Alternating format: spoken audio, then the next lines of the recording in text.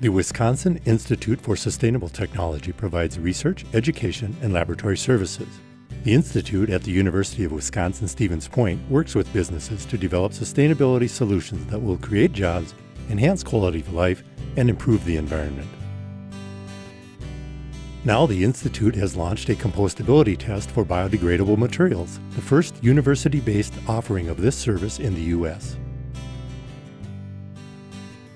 This test method is for companies that are starting to develop biodegradable packaging materials for the marketplace. The test determines the biodegradability of the material under industrial composting conditions. This is important not only for product development, but also to help validate certain labelling claims, and not least to help ensure compliance with the Federal Trade Commission's recently revised Green Guides. WIST developed its compostability protocol with the help of faculty and graduate students in the university's College of Natural Resources. In order for a product to be considered compostable, it needs to go through three tests according to ASTM standards. Uh, these tests are a disintegration test, a biodegradation test, and a plant test. For the disintegration test, this is a 12-week test in which the product is incorporated into a composting environment. Over time it breaks down, it's at about 50% moisture, and at the end of 12 weeks, 90% of the product must have broken down and be able to pass through a 2 millimeter sieve. That is considered compostable for that test.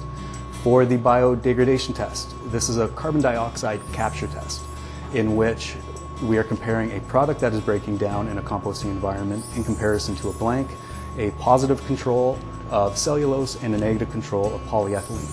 In this test, the positive control cellulose must break down 70% of its total carbon within 45 days in order to be considered valid. And in the course of 180 days, the product must break down at least 90% of a comparable amount to that positive control in order to be considered compostable through that test. As a final test, we need to show that the finished compost will not harm plant growth. So we do a germination and a growth test. After planting two different types of seeds, we allow them to start to grow. After half of the control plants have started to germinate, we then run a test for 14 to 21 days. After that time, we base the, uh, the passing of this test on the fact that 90% of the germination rate as well as the biomass has been achieved in comparison to the control plants. The Institute tests materials to ASTM's D6400 and D6868 standards. If you're a manufacturer developing compostable packaging materials, WIST can provide independent third-party testing. We're seeing increasing requests from customers for this test method, which can help differentiate products and help substantiate marketing claims.